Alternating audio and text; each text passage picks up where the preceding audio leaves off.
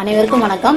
Welcome to cooking junction இன்றைக்கி நம்ம cooking junction வீடியோஸில் சப்பாத்தி பூரி இட்லி தோசைக்கு தொட்டு சாப்பிட்ற மாதிரி ஒரு ஷைடிஷ் தாங்க பார்க்க போகிறோம் காலிஃப்ளவர் குருமா.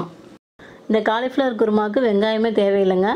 இந்த காலிஃப்ளவர் குருமா வந்து சீக்கிரமாக செஞ்சிடலாம். வாங்க இது எப்படி செய்யலாம்னு பார்க்கலாம். இது வரைக்கும் நம்ம குக்கிங் ஜங்ஷன் சேனலை சப்ஸ்கிரைப் பண்ணாம இருந்தீங்கன்னா ரெட் கலர் சப்ஸ்கிரைப் பட்டனை அழுத்துங்க. சப்ஸ்கிரைப் பண்ணுங்க. பக்கத்தில் இருக்க பெல் பட்டனை நீங்கள் அழுத்திட்டீங்கன்னா நான் போடுற நியூ வீடியோஸ் வந்து உங்களுக்கு நோட்டிஃபிகேஷன் வரும். இதுக்கு வந்து ஃபஸ்ட்டு வந்து நம்ம தண்ணியை நல்லா கொதிக்க வச்சுக்கணும். வந்து ஒரு அரை டீஸ்பூன் உப்பு ஒரு கால் டீஸ்பூன் மஞ்சத்தூள் சேர்த்துக்கோங்க. மஞ்சத்தூள் வந்து கிருமி நாசினி உங்களுக்கு. காலிஃப்ளவரை உள்ளே சேர்த்துருங்க. சேர்த்துட்டு ஒரு ரெண்டு மூணு நிமிஷம் வந்துட்டும் அந்த வெந்நீர் தண்ணியில் இருக்கட்டும்.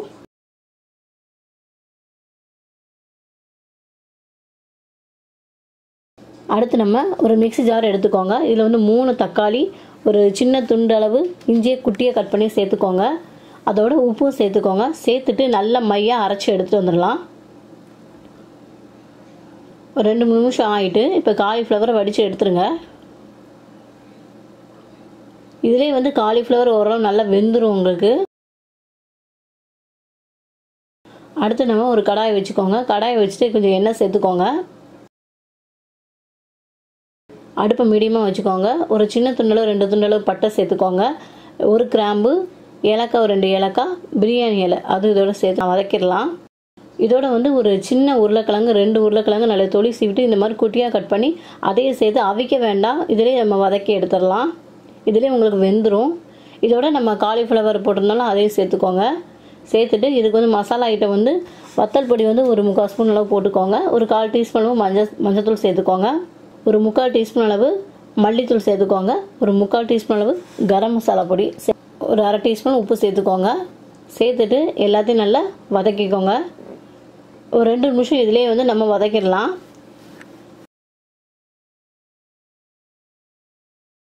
வதக்கிட்டு மூடி போட்டு மூடி வச்சிருங்க. இதில் ஒரு ரெண்டு நிமிஷம் இருக்கட்டும்.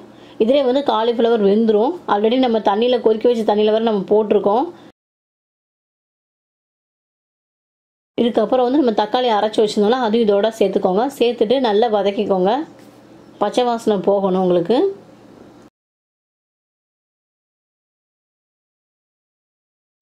இதோட ஒரு ஒரு அரைக்கப் அளவு மட்டும் தண்ணி சேர்த்துக்கோங்க. தண்ணி சேர்த்துட்டு ஒரு மூடி போட்டு மூடி வச்சிருங்க. ஒரு ரெண்டு நிமிஷம் நல்லா கொதிக்கட்டும். அடுத்து நம்ம ஒரு தேங்காய் பூ எடுத்துக்கலாம். தேங்காய் துருவல் அரை கப் தேங்காய் துருவலோட நம்ம முந்திரி பருப்பு ஒரு பத்து முந்திரி பருப்பு உள்ளே போட்டு நல்லா அரைச்சி எடுத்துக்கோங்க. முந்திரி பருப்பு சேர்க்கனால அந்த கிரேவி நல்லா ரிச் டேஸ்ட்டு கொடுக்கும் உங்களுக்கு. தேங்காய் முந்திரி பருப்பு சேரும் போது அந்த காம்பினேஷன் ரொம்ப நல்லாயிருக்கும் குருமாவுக்கு சூப்பராக இருக்குங்க.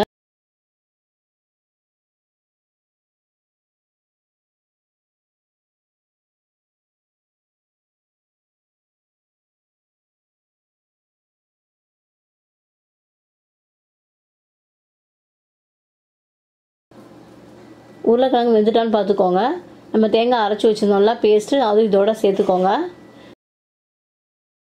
இப்போ நம்ம தேங்காய் அரைச்சிருந்தோம்ல அதில் மிக்ஸி ஜாரு அதில் கொஞ்சம் கழுவி தண்ணி ஊற்றி சேர்த்துருக்கோம். சேர்த்துட்டு நம்ம ஒரு ரெண்டு ரெண்டு நிமிஷம் மட்டும் கொதிச்சா போதும். ஊற்றி சாப்பிட்ற மாதிரி வேணும் அப்படின்னா இது இதோட நம்ம அடுப்பு ஆஃப் பண்ணிடலாம் இல்லை கெட்டியாக வேணும்னா கொஞ்சம் கொதிக்க வச்சுக்கோங்க. மல்லியில் தூவி நம்ம இறக்கிடலாம். சூப்பராக காலிஃப்ளவர் குருமா சூப்பராக ரெடி ஆகிட்டு இதில் வந்து உருளைக்கிழங்கு சேர்க்கனா உங்கள் விருப்பம் தான் சேர்க்கனா சேர்த்துக்கலாம். இல்லை உருளைக்கிழங்கு சூப்பராக காலிஃப்ளவர் குருமா ரெடி ஆகிட்டு இது இட் ச- சப்பாத்தி இட்லி தோசைக்கு தொட்டு சாப்பிடும்போது ரொம்பவே சூப்பராக இருக்குங்க. குழந்தைங்கலேருந்து பெரியவங்க வரைக்கும் எல்லாத்துக்குமே இந்த காலிஃப்ளவர் குருமா ரொம்பவே பிடிக்கும். நீங்களும் இந்த ரெசிபி உங்கள் வீட்டில் ட்ரை பண்ணி பாருங்கள் இது ஈஸியான ரெசிபி சிம்பிளாக டக்குன்னு பண்ணிடலாம் உங்களுக்கு. உங்களுக்கு இந்த வீடியோ பிடிச்சிருக்குன்னு நினைக்கிறேன். உங்களுக்கு இந்த வீடியோ பிடிச்சிருச்சுன்னா நம்ம குக்கிங் சேனலுக்கு சப்ஸ்கிரைப் பண்ணுங்கள் அப்படியே பக்கத்தில் இருக்க பெல் பட்டனை ப்ரெஸ் பண்ணுங்க. நான் சேனலில் போடுற எல்லா நியூ வீடியோஸும் உங்களுக்கு நோட்டிஃபிகேஷன் வரும். உங்களோட கருத்துக்களை கீழே இருக்க கமெண்ட் செக்ஷனில் போஸ்ட் பண்ணுங்கள் தேங்க்ஸ் ஃபார் வாட்சிங்